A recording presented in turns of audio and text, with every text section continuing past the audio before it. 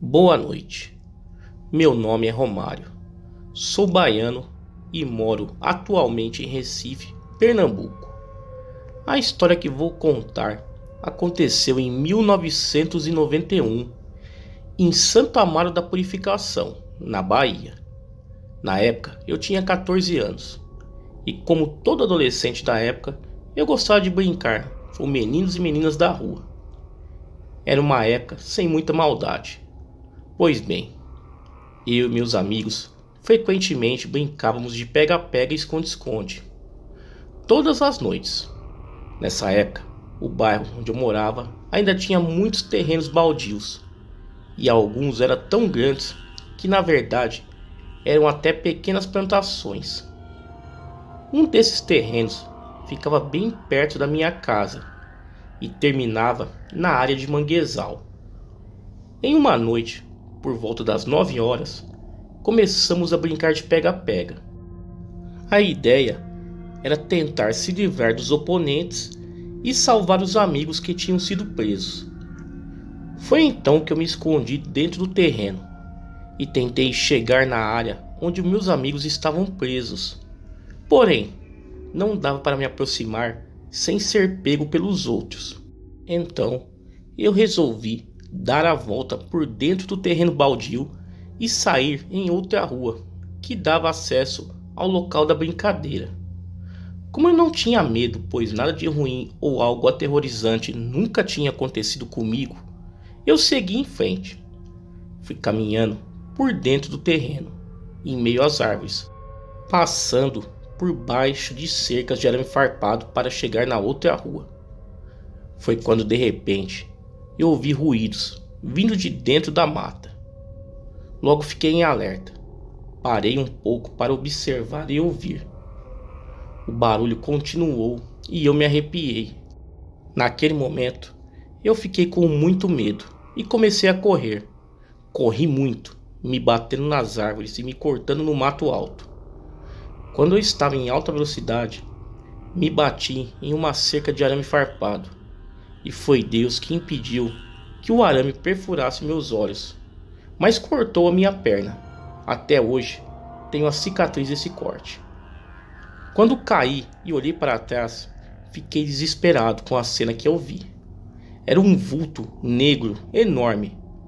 Estava a uns 10 metros de mim, bem em pé. Passei por debaixo da cerca e continuei correndo. Finalmente cheguei no fundo de uma casa gritando e batendo na porta. As pessoas que estavam na casa gritaram de dentro e perguntavam o que era. Me identifiquei e pedi que, pelo amor de Deus, que abrissem a porta. Como no fundo da casa tinha uma lâmpada acesa com uma luz fraca, deu para ver de longe a silhueta da criatura. Eu nem sabia que era um lobisomem. Só depois que as pessoas me falaram. Bem, abriram a porta e eu caí dentro da casa dessa vizinha. A rua ficou repleta de pessoas querendo saber do que se tratava. Eu chorava muito e nem conseguia explicar o que de fato tinha acontecido comigo. Por sorte, depois que passou, as pessoas do meu bairro e de toda a minha família acreditaram em mim. Eu nunca fui mentiroso. Por um tempo, o bairro ficou deserto à noite.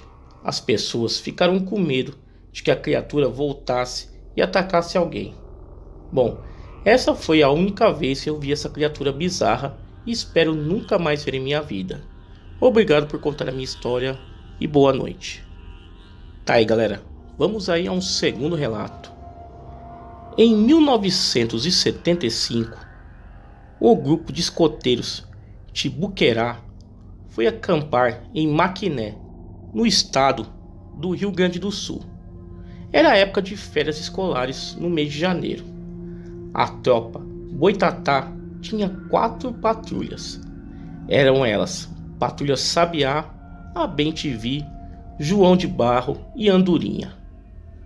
Todas elas com quatro escoteiros cada. Todos estavam felizes, pois tinham esperado o ano inteiro para este acampamento. Depois de um ano letivo difícil, os guris sonhavam com o término das aulas e irem acampar. Tinha chegado o grande dia. Saíram de Porto Alegre às 6 horas da manhã, depois de terem dormido na rodoviária, usando as velhas mochilas de lona verde oliva como travesseiro. Após quase duas horas, chegavam a Maquiné. Desceram na estrada, caminharam até uma cachoeira onde iriam acampar.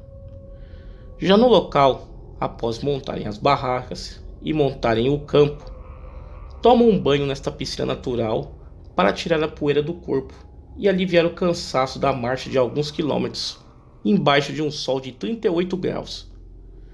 Preparam uma massa com salsichas e para tomar o bom e velho quisuco. A tarde passa rápido. Fizeram algumas provas de primeiros socorros e cozinha mateia. E logo a noite chega. A turma se reúne às 10 horas da noite para o fogo do conselho. Cantam em volta da fogueira, contam histórias, casos e lendas. Quando bate às 11 horas da noite, encerram a cerimônia então começam a escolha do escoteiro que fará a ronda no acampamento durante a madrugada. Então o escoteiro Paulinho se dá como voluntário.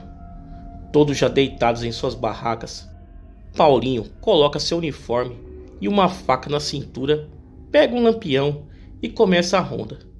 Se afasta do acampamento e se dirige a uma mata de eucaliptos.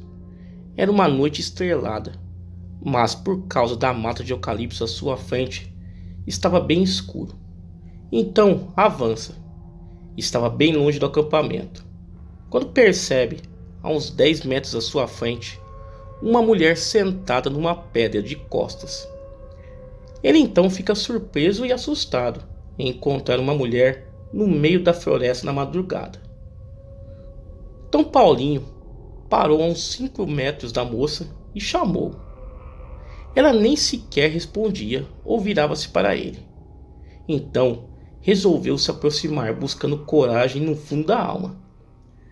Já na frente da estranha mulher, ela ergue o rosto, olha com um olhar sem brilho em direção ao escoteiro, que lhe responde: Boa noite, moça. Me chamo Paulo e sou escoteiro. Estamos acampados próximo à cachoeira. A senhora está perdida? É muito perigoso andar por estas matas de madrugada, ainda mais sozinha. E a mulher responde: Não mais. Antigamente sim, mas hoje ando por estes campos e vejo muitas coisas que lhe fariam não acamparem por estes lados. O Paulinho, sem entender, responde: Moça, posso fazer algo para a senhora? Precisa de alguma coisa? A mulher então diz: Sim, preciso. Preciso que procure meu noivo em Osório e diga-lhe que sua noiva lhe agradece por cuidar de minha irmã. E deu o endereço para ele e disse: Procure por Almeida Loreto. A mulher levanta-se afastando de Paulinho, indo em direção às árvores e sumindo na escuridão.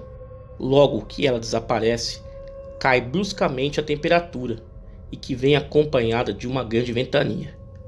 Então, Paulinho sai disparado de volta para o acampamento, se dirigindo até a barraca de sua patrulha e acorda o seu colega. Acorda, Marcos. Vem aqui fora que eu quero te contar algo. Marcos acorda ainda com sono, mas levanta. Que tu quer, Paulinho? Então Paulinho lhe conta toda a história. Na manhã seguinte, pede permissão ao chefe da tropa para ir até a cidade com a desculpa de comprar mais café e carne seca, pois também era cozinheiro da patrulha. E Marcos foi junto.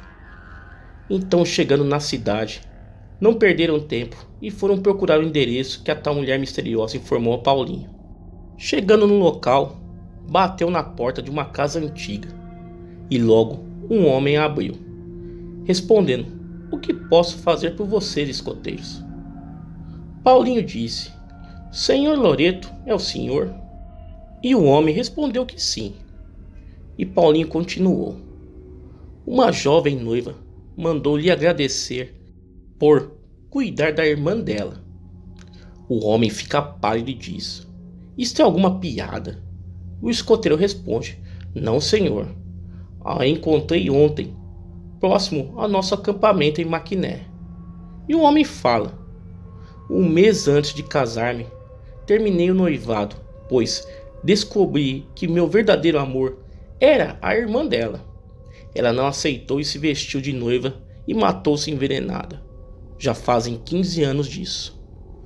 Os escoteiros se olharam e não conseguem esconder o pavor ao saberem que tem uma assombração de uma mulher que se matou naquelas matas ao ser trocada pela própria irmã. Então, sem mais terem o que falar ao homem, volta ao campo e não comenta nada com a tropa. E a partir deste dia, passaram a fazer as rondas próximo ao acampamento e em duplas, nunca mais sozinhos. Tá aí galera, dois relatos aí sensacionais enviados ao canal. Galera, quem tiver relatos iguais a esse quiser enviar ao canal, o e-mail está aparecendo aí na tela e também está na descrição do vídeo. Galera, se gostaram, deixe aquele like aí, se inscrevam no canal. Me sigam também nas redes sociais, Facebook, Instagram, Twitter, todos os links aí embaixo na descrição do vídeo. Galera, muito obrigado e até a próxima.